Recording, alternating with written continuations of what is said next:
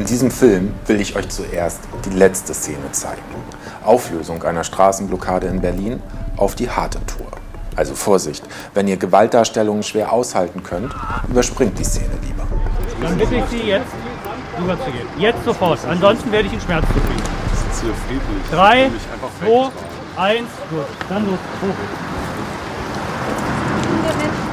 Schmerzgriffe, Bußgelder oder gar Gefängnisstrafen halten die Aktivisten der letzten Generation vor den Kipppunkten nicht vom Protestieren ab.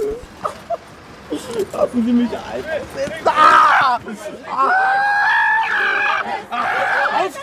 Sie haben sich ganz und gar dem Aktivismus verschrieben.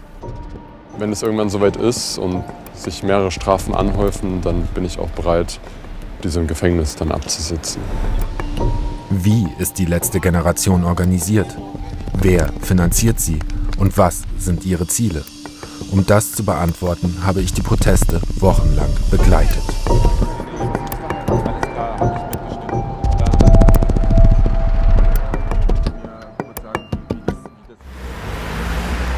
Die erste Straßenblockade für diesen Film drehe ich Mitte März in Dresden.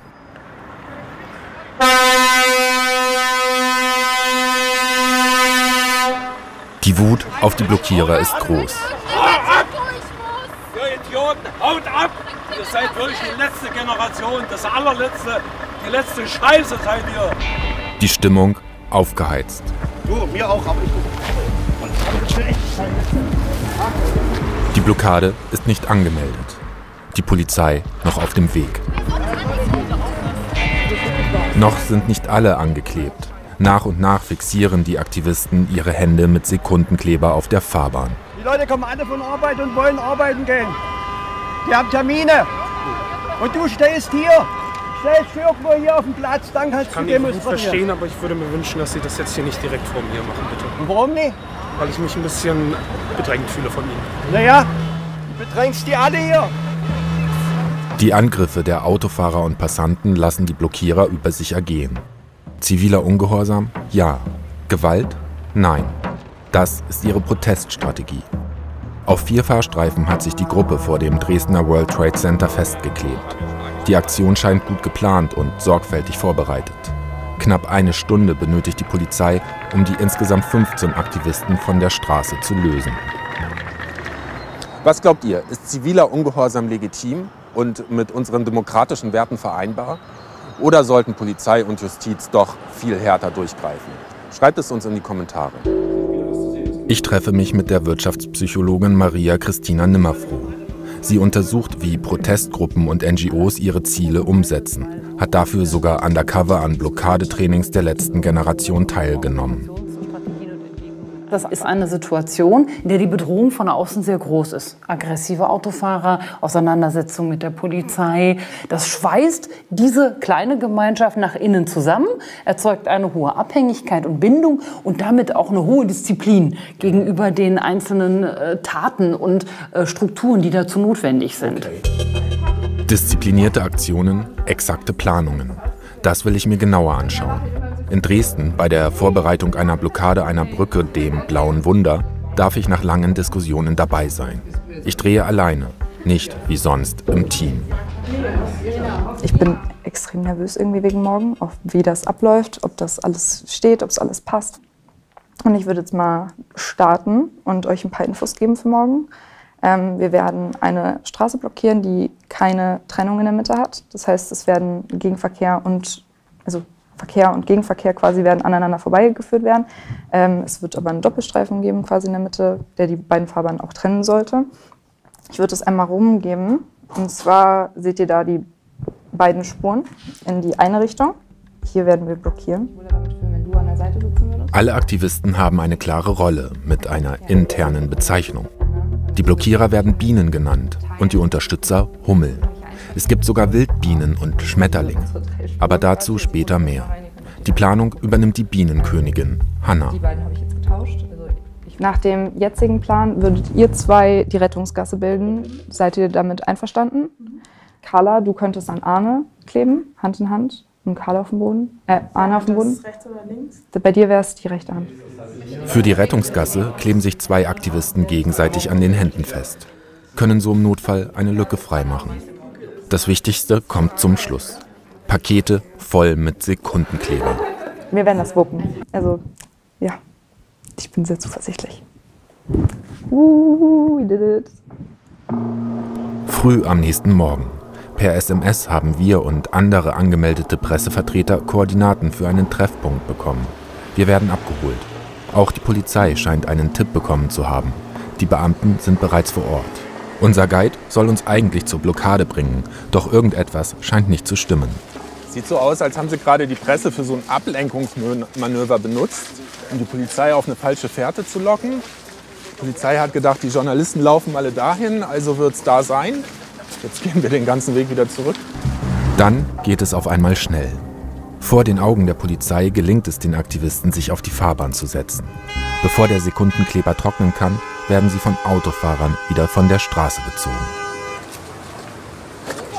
Oh, hier, komm! Ab! Ab! Ab! Sie doch die Polizei! Ab jetzt hier! Die Polizei! Polizei ist Hören Sie auf damit! Der spinnt wohl oder was, ja? Nach mehreren Versuchen steht die Blockade, mitten in der morgendlichen Rush-Hour. Wir behindern die Leute Das am Arbeiten. Wir behindern die Kinder, das- dass sie in die Schule gehen können. Darf ich Ihnen sagen, dass das hier die Möglichkeit ist, wie wir es schaffen, dass Menschen sich überhaupt für den Klimaschutz wieder interessieren, dass er wieder in den, Ich den denke, die Menschen ist. interessieren sich viel Wir, mehr, unser Ziel ist es, dass die Politik wieder Klimaschutz auf dem Plan hat. Es geht darum, dass die Menschen wieder begreifen, wie wichtig und die Zivilisation ist und dass der Klimawandel und der Klimakollaps unser komplettes Aber jetzt Überleben mal ganz bedroht. ehrlich, wie groß ist Deutschland? Groß. Genau. Wir sind historisch Okay. gesehen sind wir der sechstgrößte CO2-Emittant der Gut, Welt. und was ist mit den ganzen Ländern, China, USA, Indien, was tun die für den Klimaschutz? Was können wir als alleiniges Land bewirken? Aber was bringt es Ihnen, die anderen Länder zu kritisieren und nicht selber zu handeln? Die lachen über uns. Wir sind in Deutschland und ich bin Das Deutsche und deswegen möchte Ja, ich auch, das dass ist- meine das Regierung die richtig. Ziele umsetzt. Und ich bin auch für Klimaschutz und ich bewege mich auch ganz normal wie jeder andere Bürger. Aber Sie ich gerne nehme mir nicht das Recht raus, alle Menschen hier an ihrem alltäglichen Leben in der Gesellschaft zu behindern. Auf den Transparenten der Verweis auf den Artikel 20a des Grundgesetzes. Darin heißt es, der Staat schützt auch in Verantwortung für die künftigen Generationen die natürlichen Lebensgrundlagen. Wir haben so viel Respekt vor dem Rechtsstaat. Wir erinnern ihn daran, dass er sich selber zur Pflicht gemacht hat, unsere Lebensgrundlagen zu schützen, eben Artikel 20a.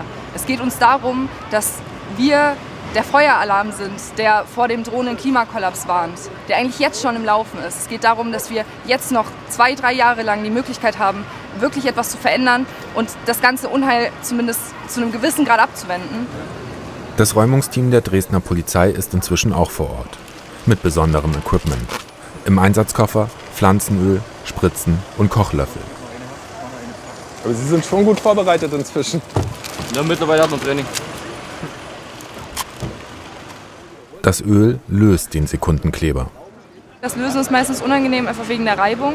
Also gerade mit den Holzspateln. Ähm, bei anderen Menschen wird es ja auch mit Mullbinden oder Zahnseide gemacht, was oft zu Blutungen und Verletzungen führt. Ähm, sie macht das jetzt eigentlich ganz sanft, das ist okay. Aber ich spüre meine Hand nicht mehr wirklich.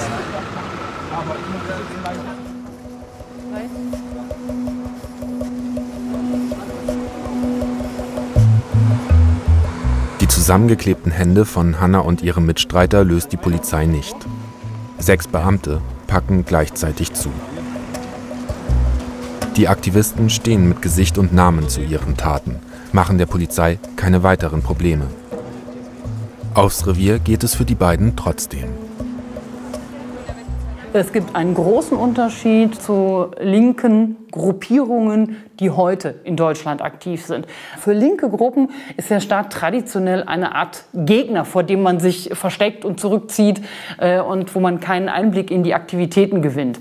Äh, die letzte Generation instrumentalisiert den Staat, insbesondere Polizei und Justiz, und integriert das in die eigenen Marketingaktivitäten, eben zum Beispiel durch das zur Schaustellen von Wegtragen oder durch die Zelebrierung von Gerichtsprozessen. Das ist eine völlig andere Sicht auf den Staat und damit auch eine völlig unterschiedliche Organisationskultur.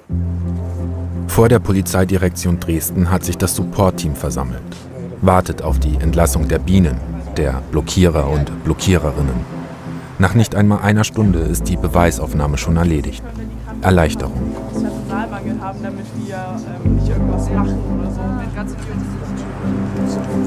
Insgesamt gehören rund 100 Unterstützer zu der Dresdner Widerstandsgruppe. So nennen sie sich selbst. Ähnliche Gruppen gibt es auch in Leipzig, in Magdeburg und in Greifswald. Diese Gruppen seien jedoch weisungsgebunden. Das erzählt mir die Wissenschaftlerin Maria Christina Nimmerfroh. Die letzte Generation ist sehr zentralistisch organisiert. Wir haben für den äh, deutschen Bereich ein dreiköpfiges Führungsteam und dann gibt es noch ein Strategieerweiterungsteam von einigen mehr Personen und dort werden die wesentlichen Entscheidungen getroffen. Die Form der Proteste, Zeit- und Maßnahmenplanung, äh, die Budgetform und auch die Mobilisierung vor Ort. Kernteam und Strategieteam entscheiden über die Kampagnenziele der letzten Generation und geben diese an verschiedene Arbeitsgemeinschaften weiter, wie zum Beispiel das Legal Team, das Finanzteam oder das Presseteam. Dazu gibt es insgesamt sechs regionale Strategieteams, in denen die Kampagnenziele an die Gegebenheiten vor Ort angepasst werden. Die regionalen Strategieteams unterweisen dann die einzelnen Widerstandsgruppen in den Städten, also die Aktivisten und Aktivistinnen, die sich letztendlich auf der Straße festkleben. Es hat einiges an Überzeugungsarbeit gekostet und hat dann doch geklappt. Ich kann bei einem Treffen des Strategieteams Ost dabei sein. Es findet in der Wohnung von Lars statt. Lars ist 19 Jahre alt und so etwas wie ein Vollzeitaktivist. Er wird sogar bezahlt wenn ich mich auf die Straße klebe, das finanziert keine Organisation, kein Arbeitgeber, niemand. Ähm, das mache ich in meiner Freizeit. Aber zum Beispiel Vorträge zu halten oder Menschen darüber aufzuklären, was ist ziviler Widerstand, was sind vielleicht rechtliche Konsequenzen davon, ähm, mit Menschen, die auch politische Entscheidungen treffen, in Kontakt zu kommen, mit äh, mit den Medien zu reden. Ähm, das ist alles gemeinnützige Arbeit.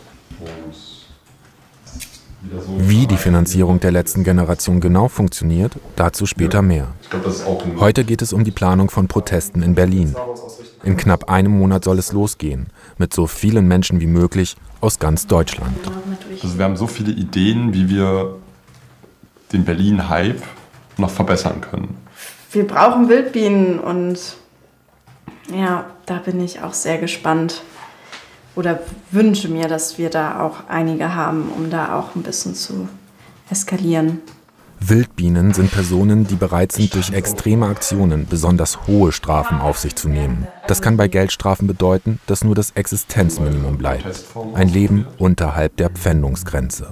Da halt irgendwie so einen Perspektivwechsel, auch da die Aufklärung zu kriegen, dass du halt auch mit 1700 Euro. Ja, 1200 noch irgendwas, glaube ich. 1337. Oder das stimmt. Danke. Dass du auch damit ein erfülltes Leben führen kannst. Also es ist ja auch einfach so eine Aufklärungsarbeit, die dahinter steht. Und die Aufklärung dann eben am besten im Dialog, im Austausch mit Menschen, ja. die das ja jetzt schon betrifft. Eben nicht so ein trockener Input vom Legal-Team, sondern einfach mit entsprechenden Wildbienen, die das halt einfach jetzt schon machen. Aber das Regen, der Regen ist schön. Nur neun Tage später treffe ich Lars in Hamburg wieder. Eine kurze Zeit, in der viel passiert ist. Lars saß im Knast. Genauer gesagt in Präventivhaft. Sollte so daran gehindert werden, an weiteren Blockaden teilzunehmen. Drei lange Tage mit jeweils nur einer Stunde Hofgang. Es ging mir kurz gesagt sehr scheiße. Also es kommt immer im Nachhinein noch mal hoch und auch jetzt merke ich noch, wie ich erschöpft bin und wie das doch was ist, was nicht an mir vorbeigeht. Also 23 Stunden in der Zelle zu sein, für was, wo ich denke, das ist doch legitim und das muss doch gehört werden. Ähm, und hier werden gerade meine Lebensgrundlagen zerstört und dann komme ich dafür ins Gefängnis. Das hat nochmal einen ganz anderen Beigeschmack. Der Grund für den Knastaufenthalt? Eine Blockade auf den Elbbrücken in Hamburg. Ende März beginnt die Gruppe eine Kampagne in der Hansestadt, blockiert mehrfach die Hauptverkehrsadern von Stadt und Hafen. Komm, abhauen! Abhauen! Ich hau dir in die Fresse, du Arschloch! Ich hau dir so in die Fresse! Was machst du hier? Komm, geh arbeiten! Und ihr Arschwichser, filmt das! Jetzt zieh dich! Sei lieb! Komm, sei lieb! Ja, ja, du tust mir auch weh! Lass den Finger raus, Mann! Jetzt verpiss dich! Keine Gewalt, komm, keine Gewalt! Der Protest kam mit Ankündigung. Vorausgegangen war ein Schreiben der letzten Generation an den ersten Bürgermeister in Hamburg. Darin die Forderung, die Stadt solle die Ziele der Gruppe unterstützen. Geschehe dies nicht, Zitat, wir werden in diesem Fall ab dem 14.03.2023 unseren Protest auf die Stadt Hamburg ausweiten und für eine maximale Störung der öffentlichen Ordnung sorgen. Für den ersten Bürgermeister eine klare Erpressung, auf die er sich nicht einlässt. Die letzte Generation antwortet darauf mit einer speziellen Klebermischung. Von der Straße lösen? Unmöglich. Statt Pflanzenöl kommt die Flex zum Einsatz.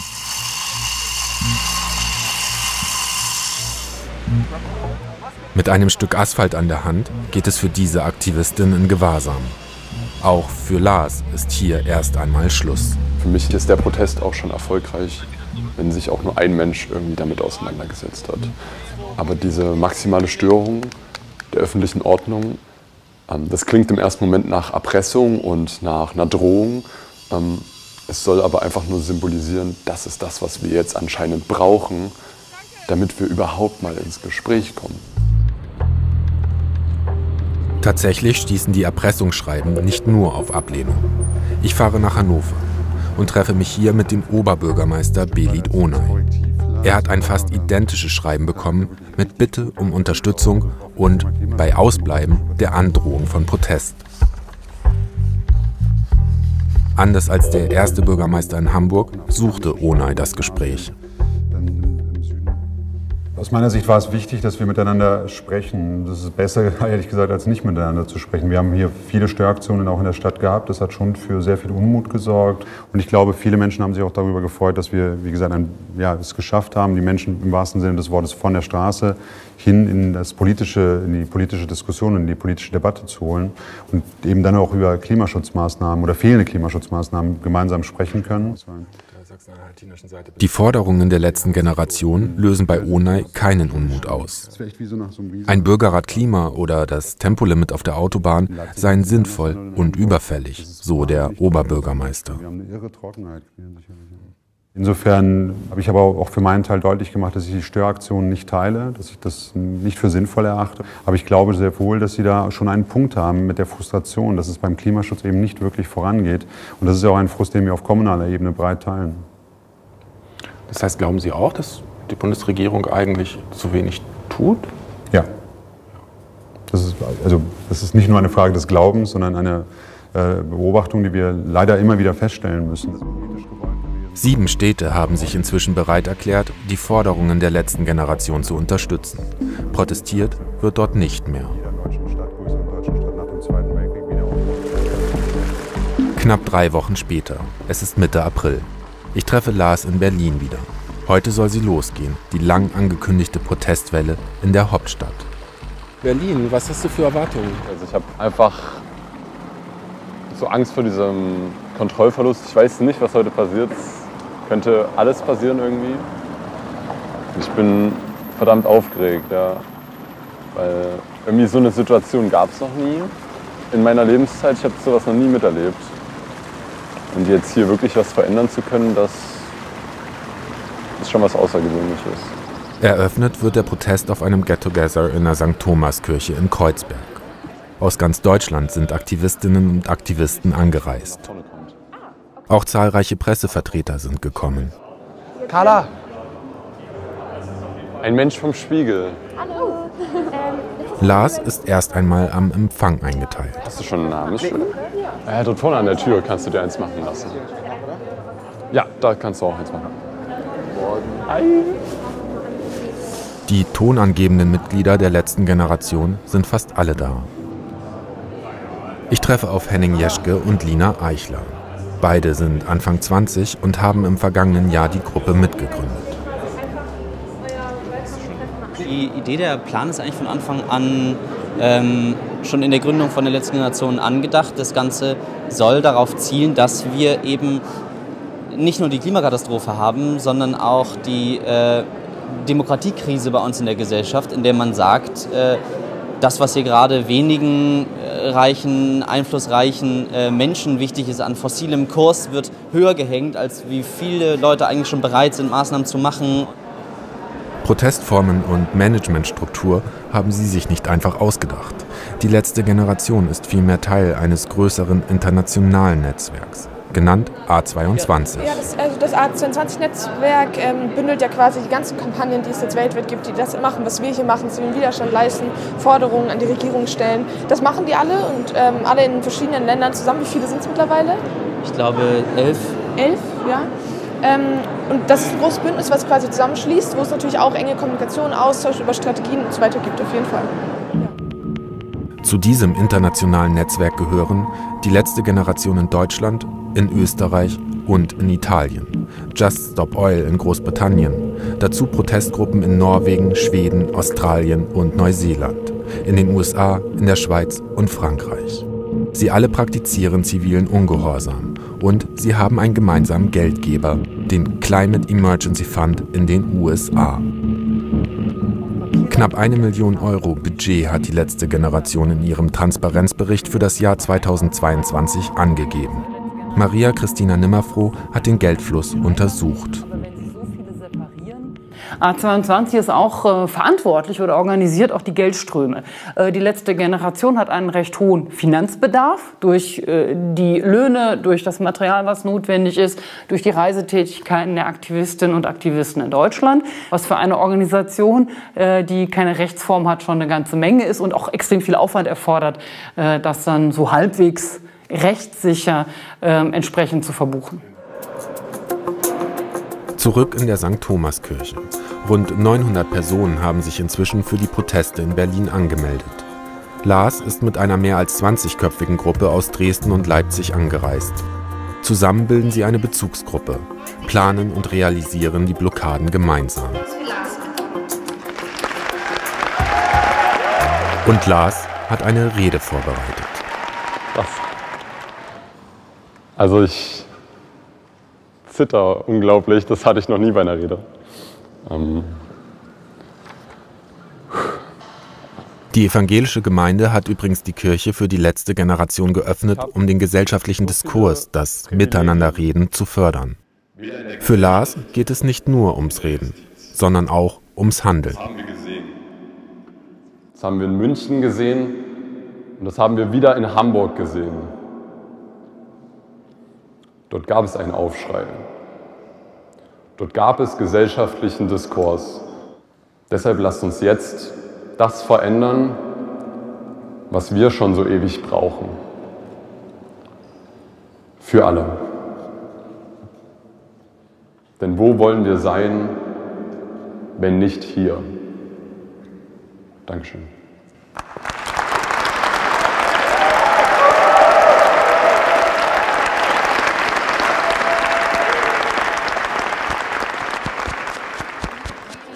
Eine letzte Stärkung in der Berliner Frühlingssonne. Dann soll der Protest losgehen.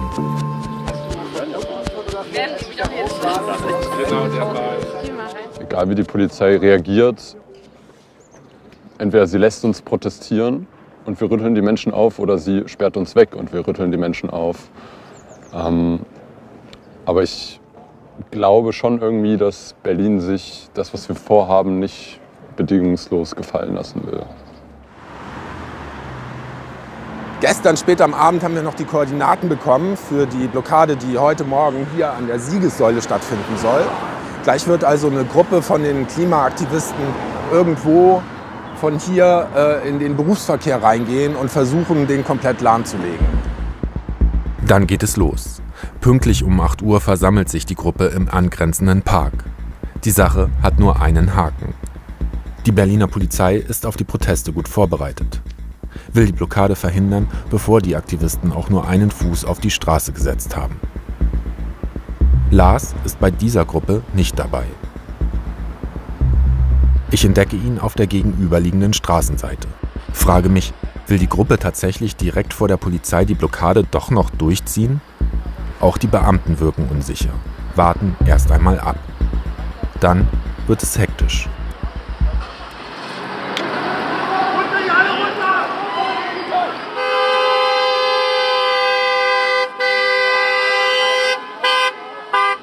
Mit vier Beamten mehr als 20 entschlossene Menschen aufhalten, unmöglich. Die Polizei gibt nach. Die drei Fahrbahnen der Straße des 17. Juni Richtung Brandenburger Tor sind blockiert. Doch statt sich festzukleben, hat sich die Gruppe heute für eine andere Protestform entschieden. Den sogenannten Slow Walk. Laufen im Schneckentempo. Lars wirkt hochkonzentriert. Diese Ruhe, die wir auf diesen Protesten erleben, diese, dieses unangenehme Schweigen, das sorgt ganz viel dafür, dass wir uns damit auseinandersetzen. Obwohl es laut ist, vielleicht Menschen schreien, die Polizeisirenen, das Hupen. Aber für dich alleine bist du in einem kompletten Schweigen.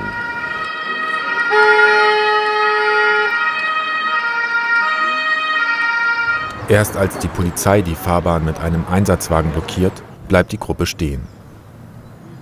Sie haben sich gegen ein Slalomlaufen um die Polizeifahrzeuge entschieden. Auch Matthias zuliebe. Ich habe ihn schon in Dresden kennengelernt und später auch in Hamburg wieder getroffen. Er ist keine Biene, sondern ein Schmetterling. Da ich durch diesen Rollstuhl besonders auffällig bin, habe ich mir die Bezeichnung Schmetterling überlegt. Während nach Bienen und Hummeln immer wieder mal geschlagen wird, wird ein Schmetterling einfach nur ignoriert. Und genau das erlebe ich auch, wenn ich auf der Straße bin.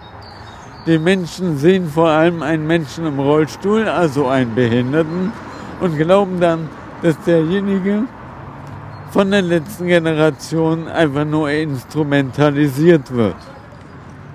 Knapp zwei Stunden hält die Gruppe die Blockade aufrecht. Dann gibt die Polizei die Auflösung der Versammlung bekannt. Gemäß 14 Versammlungsfreiheitsgesetz Berlin wird Ihnen hiermit die Beschränkung erteilt, sich auf den Gehweg zu begeben.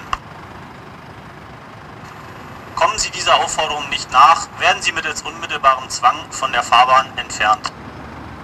Sie haben die Durchsage gehört. Wollen Sie freiwillig übergehen oder muss ich bei Ihnen? Sie auf, aufstehen, danke. Ich mache es nicht gerne, ja? aber ich habe auch keine Lust, nachher zum Orthopäden zu rennen. Einige stehen freiwillig auf. Die anderen werden von der Fahrbahn geräumt. Auch Matthias weigert sich, selbstständig die Straße zu verlassen. Ich möchte da gerne auf die Gleichbehandlung pochen. Machen wir ja auch. Ja, ja. Versammlungsfreiheitsgesetz aufgelöst. Ist eine Bitte. Mit dieser Und ich polizeilichen bitte um Gleichbehandlung. Haben Sie noch irgendwo eine Bremse angelegt? Nee, Sie können jetzt Okay. Gas geben. Gut. Genau. Kommen Sie dieser Aufforderung nicht nach, werden Sie mittels unmittelbarem Zwang von der Fahrbahn entfernt. Der friedliche Widerstand, die Weigerung, den Aufforderungen der Polizei Folge zu leisten, für die Beamten durchaus eine Provokation. Die Räumungsmethoden werden zunehmend härter. Wir gehen auch rüber daher. Ich möchte gerne sitzen bleiben. Können Sie da drüben. Sie sagen ja, ich möchte Ihnen keine Schmerzen zufügen. Wenn ich Ihnen Schmerzen zufüge, wenn Sie mich zwingen, ja, werden Sie die nächsten Tage, nicht nur heute, Tage, werden Sie Schmerzen beim Kauen haben und beim Schlucken. Dann bitte ich Sie jetzt rüberzugehen. Jetzt sofort. Ansonsten werde ich Ihnen Schmerzen zufügen. Ich sitze hier friedlich. Drei, zwei, eins, los. Dann los. Hoch.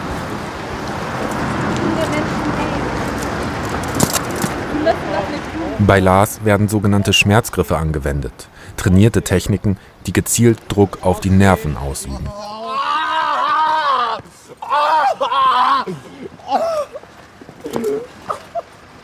Lassen Sie mich! Aufstehen!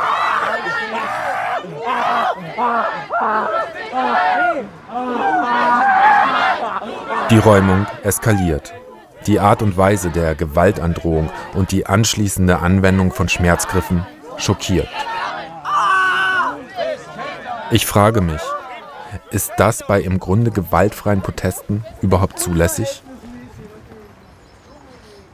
Das wollen wir von dem Kriminologen und Strafrechtler Tobias Singelnstein wissen. Grundsätzlich kann man sagen, ähm, der Gewalteinsatz ähm, und dieses Schmerzen zufügen ähm, ist eine Form von Gewalt, ähm, ist auch für die Polizei eine Ausnahmebefugnis. Das heißt, die Polizei darf diese Techniken nur einsetzen, äh, wenn es keinen anderen Weg gibt, um eine polizeiliche Maßnahme durchzusetzen.